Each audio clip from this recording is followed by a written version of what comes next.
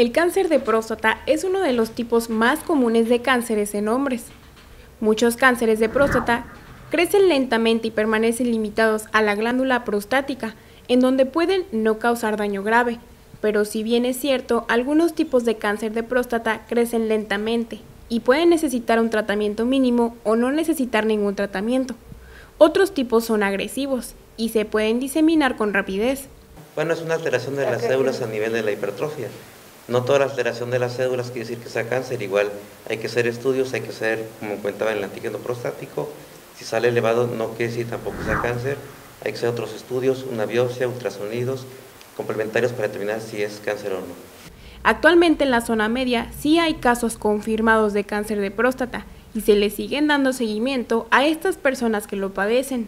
En la zona media tenemos la detección de cuatro, es un programa que estamos realizando para detectar a todos, encontrarlos a todos. Tenemos 48 casos de hipertrofia prostática que están en seguimiento y de cáncer ya diagnosticados por la Secretaría tenemos cuatro en este momento. Sí, se tienen este, un listado de primero de pacientes con hiperplasia prostática, crecimiento de la próstata, los que están en tratamiento y seguimiento, y tenemos algunos casos de cáncer en ambos municipios y en el resto también este, en los 12 municipios que compete la jurisdicción. Y bueno, por eso la importancia, porque algunos ya son detectados de manera muy tardía. Si lo hacemos de manera oportuna, por supuesto que ahorramos bastantes situaciones en cuanto a calidad de vida y también en cuanto a economía. Cada cuerpo es diferente, por lo cual la sintomatología no sería la misma. Los síntomas que presentan para de la detección oportuna son lo que son la incontinencia urinaria, orina cada rato, orina muy seguido y esfuerzo al orinar. La edad más común en la que puede aparecer el cáncer de próstata es de 45 años en adelante.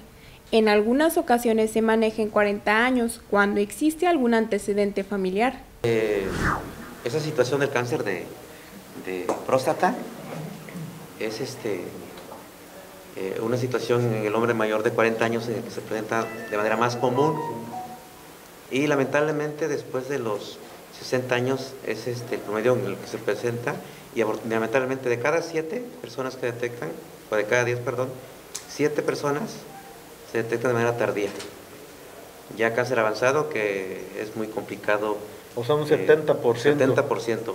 Para tarde. Poder, tarde. 70%. Y bueno, eso afecta a la calidad de vida, ¿no? Y el tratamiento que es este, muy complicado. Para prevenir este cáncer es primordial que los hombres de 40 años en adelante asistan a hacerse la prueba, ya sea mecánica o sanguínea. Para Noticieros Cable RB, Dulce Juárez.